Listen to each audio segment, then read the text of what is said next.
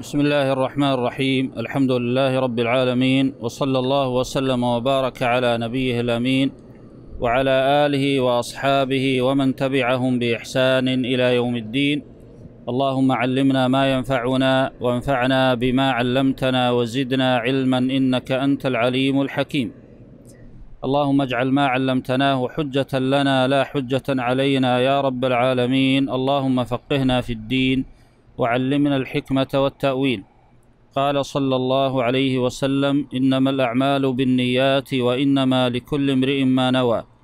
فمن كانت هجرته إلى الله ورسوله فهجرته إلى الله ورسوله ومن كانت هجرته إلى دنيا يصيبها أو امرأة ينكحها فهجرته إلى ما هاجر إليه. أما بعد فلا زلنا نقرأ في كتاب القواعد والأصول الجامعة. والفروق والتقاسيم البديعة النافعة للشيخ العلامة عبد الرحمن بن ناصر السعدي رحمه الله تعالى رحمة واسعة. ووقفنا عند القاعدة الخامسة والخمسين. قال رحمه الله الخامسة والخمسون لا عذر لمن أقر ولو ادعى غلطا. هذه القاعدة تتعلق بالإقرار والإقرار يعرفه العلماء بأنه الاعتراف بالحق فمن اعترف بحق لغيره فقد أقر به ولزمه ذلك لأن الإقرار مأخوذ من الثبوت واللزوم. يقال قر الطير في وكره يعني ثبت. والإقرار يعتبر أقوى البينات ولهذا يعبر عنه العلماء بسيد الأدلة وذلك لأنه أقواها فهو أقوى من الشهادة وغيرها من البينات. والأصل في الإقرار السنة كما جاء في الصحيحين من حديث أبي هريرة رضي الله عنه أن ماعز الأسلم جاء إلى النبي صلى الله عليه وسلم فقال يا رسول الله إني زنيت. فأعرض عنه النبي صلى الله عليه وسلم فجاءه من قبل وجهه وقال يا رسول الله إني زنيت. فتركه النبي صلى الله عليه وسلم حتى أقر على نفسه أربع مرات. فقال النبي صلى الله عليه وسلم أبك جنون؟ قال لا.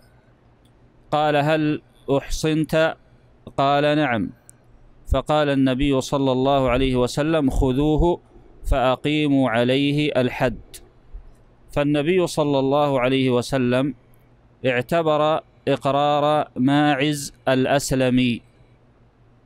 وكذلك ما جاء في الصحيحين أيضا من حديث العسيف وهو الأجير كما في حديث لأبي هريرة رضي الله عنه وخالد وزيد بن خالد الجهني رضي الله عنه أن النبي صلى الله عليه وسلم قال لأنس اذهب لامرأته فإن اعترفت فارجمها فاعترفت فرجمها.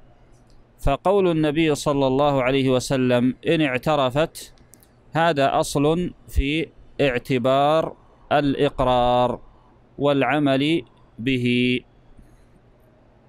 والقاعدة التي ذكرها المصنف رحمه الله وهي قوله لا عذر لمن أقر رويت حديثا. فروي أن النبي صلى الله عليه وسلم قال لا عذر لمن أقر. لكن العلماء قالوا هذا لا يثبت عن النبي صلى الله عليه وسلم. ومعناه صحيح فهو لا يثبت من جهة السند عن النبي صلى الله عليه وسلم لكن معناه صحيح. فإن من اعترف ثبت عليه اعترافه. وليس له عذر في إنكاره. على تفصيل سيأتي بيانه بعد قليل إن شاء الله تعالى. والإقرار إنما يصح من المكلف وهو البالغ العاقل.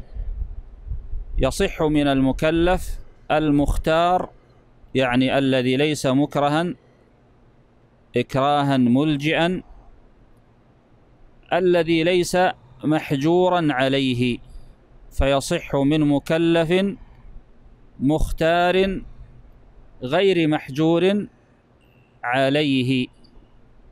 لا أما غير المكلف وهو الصبي والمجنون والمكره إكراها ملجئا فهذا لا يصح منه. الإقرار. وكذلك المحجور عليه لسفه وكذا لصغر فإن إقراره لا يصح. ولما كان الإقرار دليلا قويا على الحق فإنه يترتب على ذلك أن من أقر على نفسه بشيء إذا ادعى الغلط في الإقرار فإن ذلك لا يقبل منه. فلو قال لا أخطأت في الإقرار ورجع عن اعترافه بالحق فإن ذلك لا يقبل منه. ويدل على هذا قوله صلى الله عليه وسلم إنما أقضي بنحو ما أسمع الحديث كما في الصحيحين. فأخبر النبي صلى الله عليه وسلم في هذا الحديث أن ما سمعه قضى به فيلزم من ذلك أن المقر لو رجع فإنه لا يقبل إقراره بل يقضى بما أقر به. فهذا الحديث يلزم منه أن من رجع عن الإقرار فإن رجوعه لا يقبل. وهذا في حق الآدميين. فإن من ادعى من أقر وادعى بعد الإقرار الغلط في الإقرار فإن ذلك لا يقبل منه. وهذا في حقوق الآدميين وذلك لأن حقوق الآدميين مبنية على المشاحة. أما من ادعى غلطا في حق من حقوق الله سبحانه وتعالى فهل تقبل دعواه للغلط؟ هل تقبل دعواه لهذا الغلط أو أنها لا تقبل. هذه المسألة فيها تفصيل وذلك بأن يقال حق الله سبحانه وتعالى له حالان.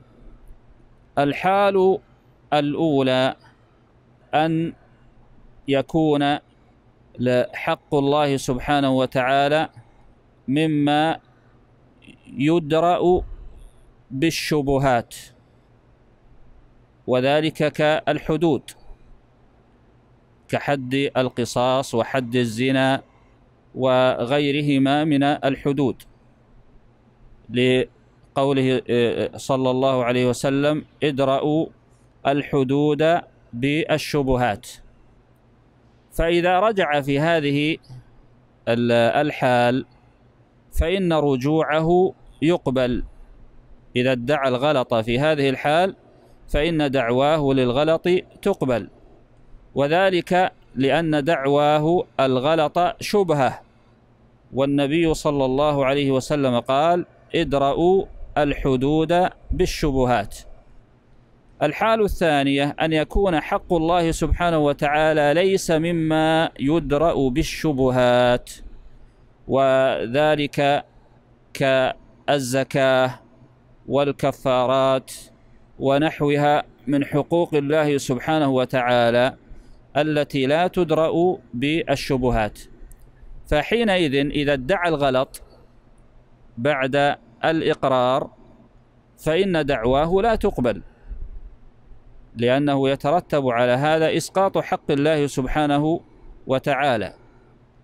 وليس هناك شبهة تقوي لدعواه وقوع الغلط في الإقرار. وعلى هذا لو أنه قال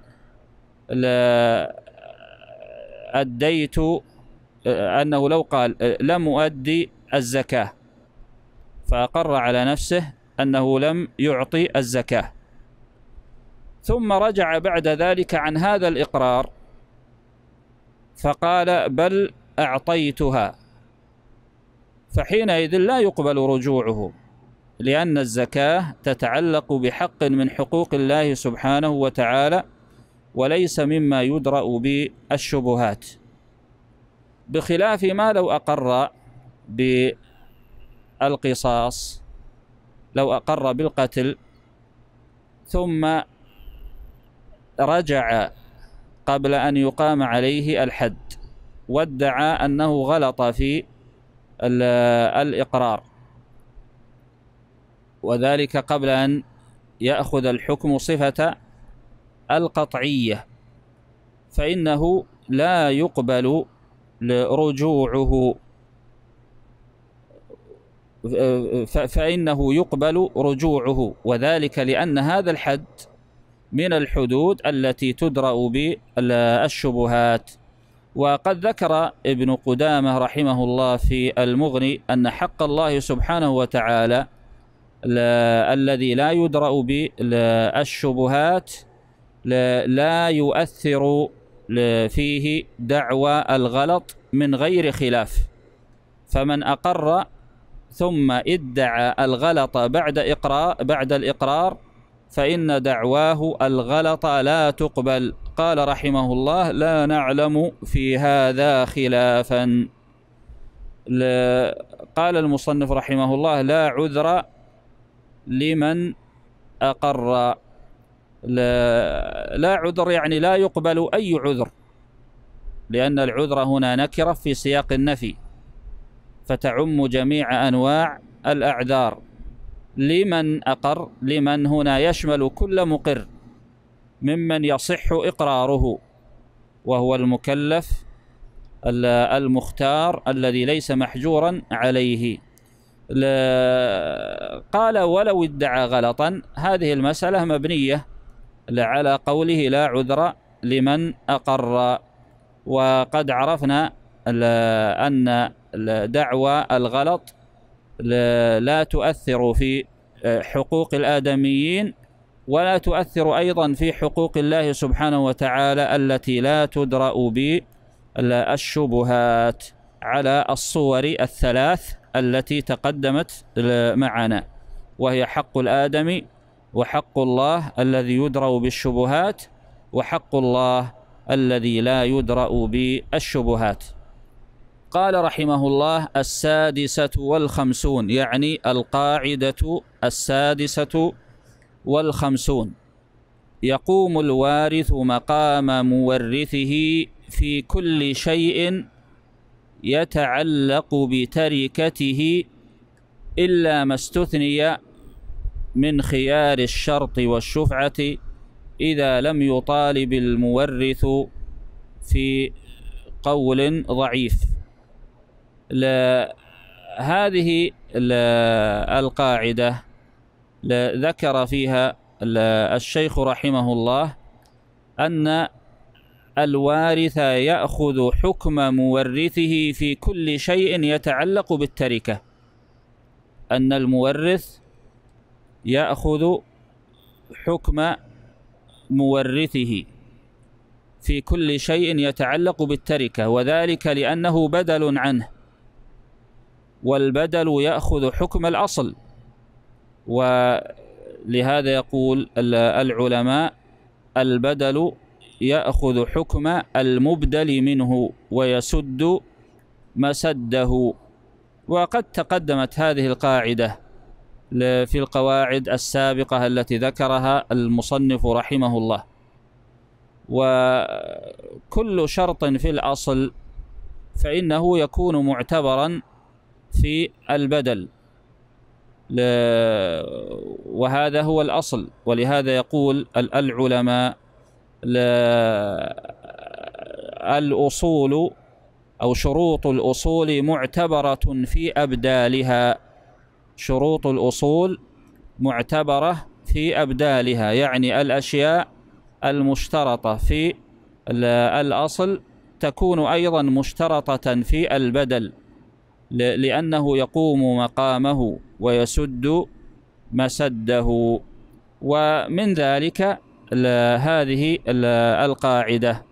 وهذه القاعدة هي في الحقيقة ضابط لأنها تتعلق بباب من أبواب الفقه وهو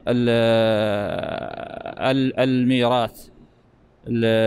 تتعلق بباب من أبواب الفقه وهو قيام المورث مقام قيام الوارث مقام المورث في كل شيء يتعلق بالتركة. ومن أمثلة ذلك المطالبة بالدين. فإن المورث إذا كان له دين على غيره ومات قبل أخذه فإن الوارث يقوم مقامه في المطالبة بهذا الدين.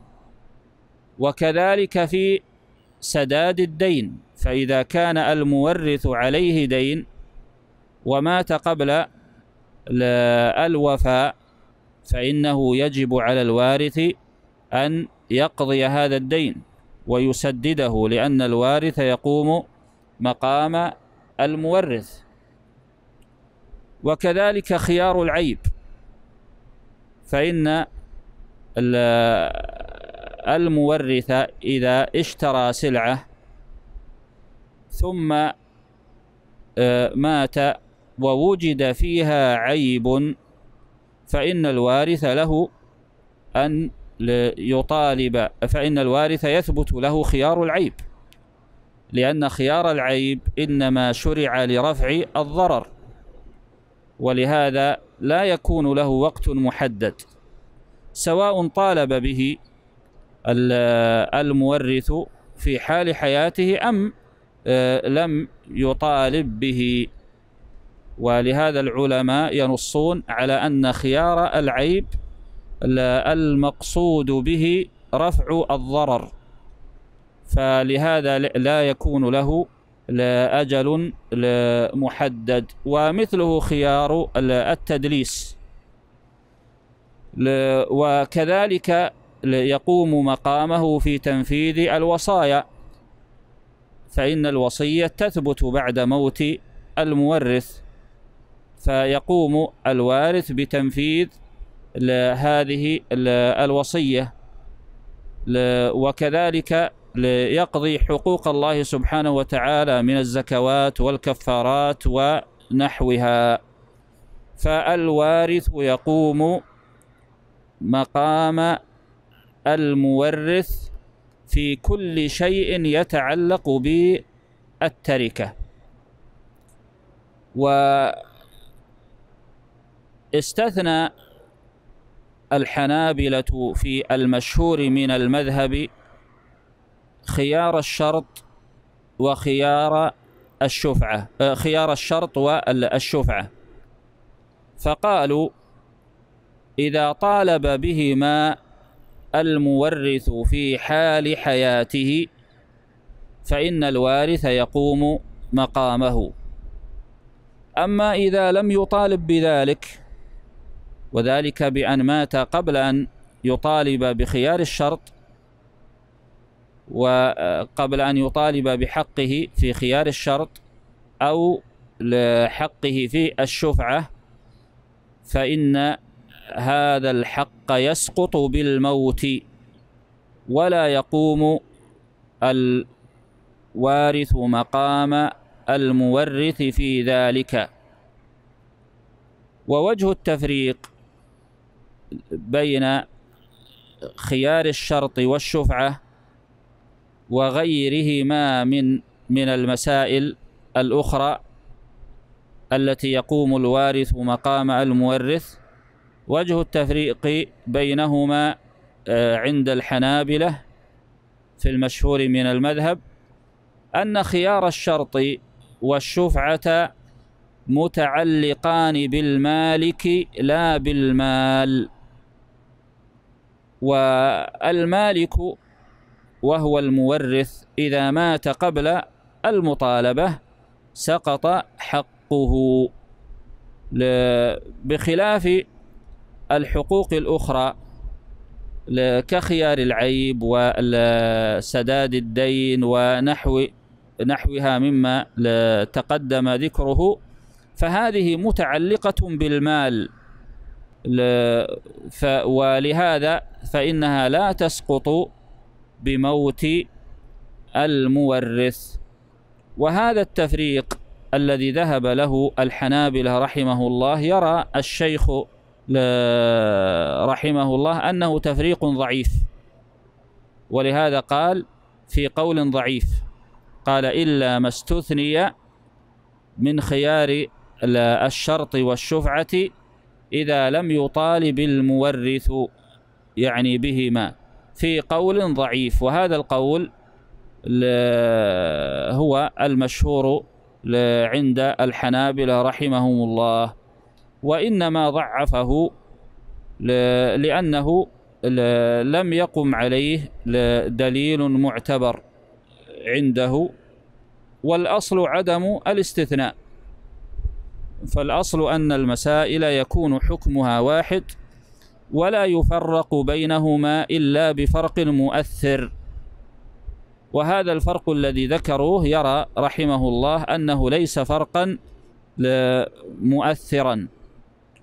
وبناء على هذا فإن خيار الشرط والشفعة عند الشيخ يقوم الوارث فيهما مقام المورث وذلك لعدم وجود دليل يفرق بينهما وبين غيرهما من المسائل الأخرى. قال رحمه الله القاعدة السابعة والخمسون.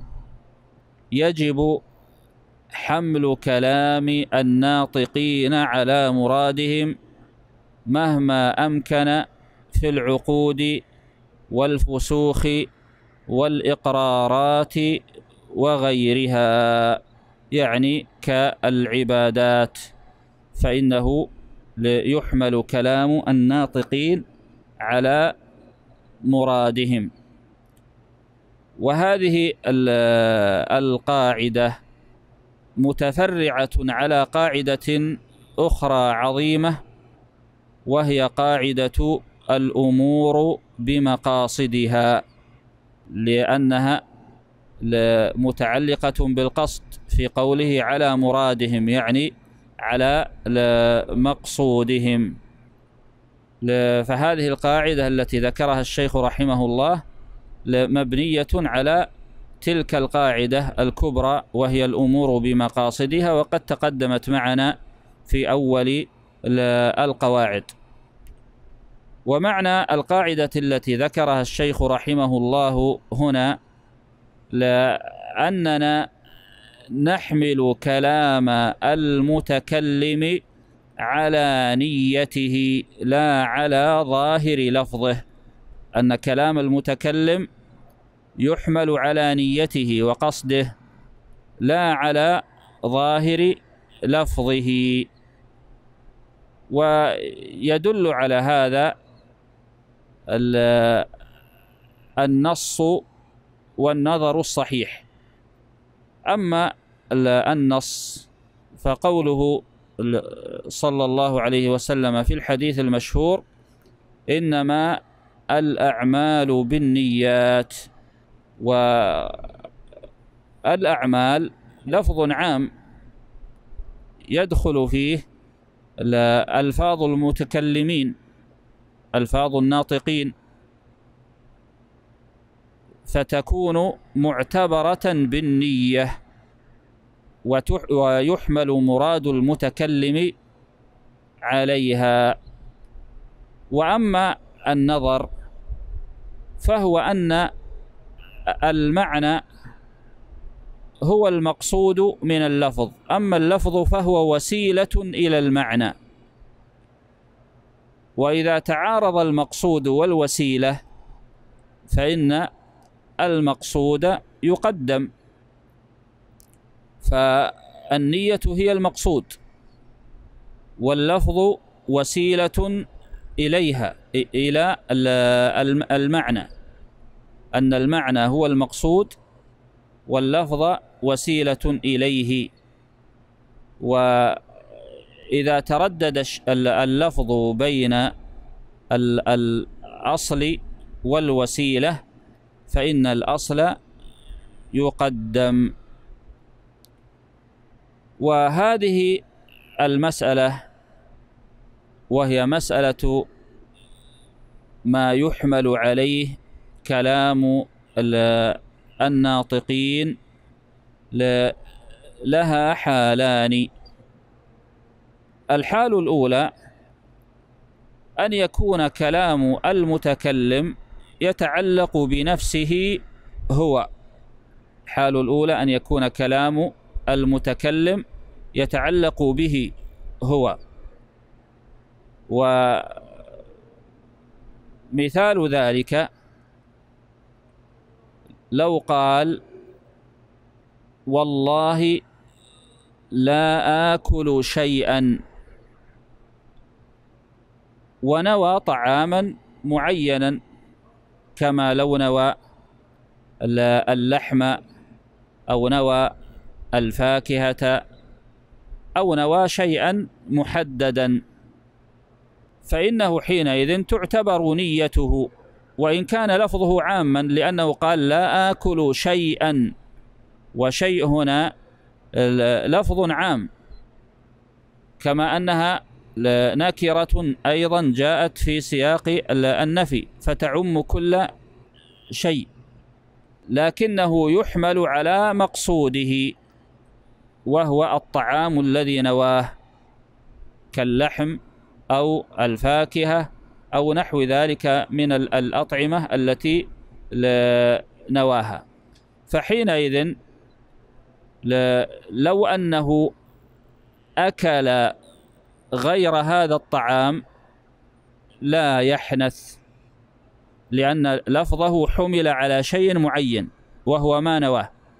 فلو نوى اللحم وأكل من الرز مثلا فإنه لا يحنث لأن لفظه وإن كان عاما إلا أنه يحمل على ما نواه. والنية لها أثر عظيم في ما يحمل عليه لفظ المكلف فيما يتعلق بنفسه. حتى إنه قد يكون اللفظ عاما فتخصصه النية. وقد يكون اللفظ خاصا فتعممه النية. يقول ابن رجب رحمه الله من غير خلاف في ذلك. فالنية تخصص اللفظ العام وتعمم اللفظ الخاص. فمثال تخصيص النية لللفظ العام لو أن شخصا قال نسائي طوالق واستثنى بقلبه واحدة. استثنى لسلمى مثلا. فإن جميع نسائه يطلقن إلا لسلمى لأنه استثناها بنيته. وقلبه. فالنية هنا خصصت اللفظ العام. وكذلك تعمم اللفظ الخاص. ومثال ذلك لو قال والله لا أكلم فلانا. و أو قال لا أكلم امرأتي. حتى يتضح المثال بصورة أكبر. فلو قال والله لا أكلم امرأتي ونوى بذلك هجرانها في كل شيء فإنه يحنث بوطئها مع أنه تلفظ بشيء خاص وهو الكلام فقال لا أكلمها لكنه نوى هجرانها في الكلام وفي غيره. فإذا وطئها فإنه يحنث كما لو كلمها فإنه يحنث أيضا هذه هي الحال الأولى وهي أن يكون الكلام يتعلق بنفسه. الحال الثانية أن يكون كلام الناطق يتعلق بغيره. فحينئذ يحمل كلامه على نيته لأن هذا هو الأصل. يحمل كلامه على نيته لأن هذا هو الأصل. إلا في حالة واحدة وهي إذا طالبه غيره بمقتضى ظاهر لفظه. إذا طالبه غيره بمقتضى ظاهر اللفظ. لأن هذا هو الظاهر من الكلام. فيكون معتبرا. ومثال ذلك لو قال امرأتي طالق وأراد أنها طالق من وثاق. فحينئذ يكون المعتبر هو نيته وذلك لأن لأن هذا هو الأصل. لكن المرأة لو طالبت بالطلاق ولم تصدقه في نيته فإنه حينئذ يحكم عليه بالطلاق لأن هذا هو ظاهر لفظه. فكما قلنا لو قال امرأتي طالق وأراد أنها طالق من وثاق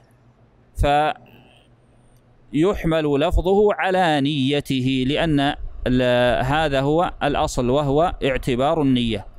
إلا إذا طالبت زوجته أو طالب زوجه بذلك بالطلاق فإنه يحكم عليه به لأن هذا هو ظاهر لفظه. ويدل على هذا قوله صلى الله عليه وسلم كما في الصحيحين إنما أقضي بنحو ما أسمع. فالنبي صلى الله عليه وسلم في هذا الحديث علق الحكم علق الحكم الذي هو القضاء بظاهر اللفظ وهو ما يسمع لأن الذي يسمع هو ظاهر اللفظ ليس النية. فقال إنما أقضي بنحو ما أسمع. فيدل ذلك على أن القضاء يكون بناء على ظاهر اللفظ لأن ظاهر اللفظ هو الذي يسمع. أما النية فلا لا تسمع. ويدخل في هذا الباب الكنايات الكنايات عموما ككنايات الطلاق وكنايات الظهار وكنايات الوقف ونحو ذلك من الألفاظ التي ليست صريحة في الدلالة على آه، المعنى لكنها ظاهرة فيه. أو خفية أو لكنها تدل عليه سواء كانت ظاهرة أم كانت خفية. فيدخل في هذا الألفاظ التي ليست صريحة في الدلالة على المعنى لكنها تدل عليه سواء تدل عليه آه، دلالة ظاهرة لا أم لا تدل عليه دلالة خفية. ومن لطيف ما يذكر ما جاء أن عمر بن الخطاب رضي الله عنه جاءه رجل ومعه امرأته. فقال إنها قالت سمني يعني اذكر لي اسما. فقال أنت الطيبة. فقالت سمني اسما آخر وهي تريد أن تحتال عليه. فقال ما هو؟ فقالت سمني بتلة طالق. فقال أنت بتلة طالق. ف وبتلة لفظ من الألفاظ الكنائية الظاهرة. فجاءت إلى عمر رضي الله عنه ومعها زوجها وقالت إنه قد طلقني وطالبت بالطلاق. فأخبره الرجل بالقصة. فضربها عمر رضي الله عنه بالدرة على رأسها. ثم قال للرجل خذها بيدها واضرب قال اضربها على رأسها وخذها بيدها. يقول ابن القيم رحمه الله لما ذكر هذه الحادثة يقول وهذا هو الفقه الذي يدخل القلوب من غير استئذان.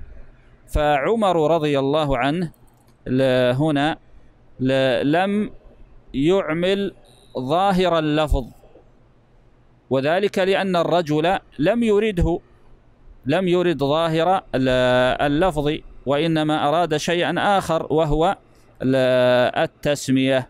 وهذا يدلنا على أن النية لها أثر كبير في الأحكام وفي ألفاظ المتكلمين. ونقف عند القاعدة الثامنة والخمسين. وأسأل الله سبحانه وتعالى أن يوفق الجميع للعلم النافع والعمل الصالح. والله أعلم. وصلى الله وسلم على نبينا محمد وعلى آله وأصحابه أجمعين.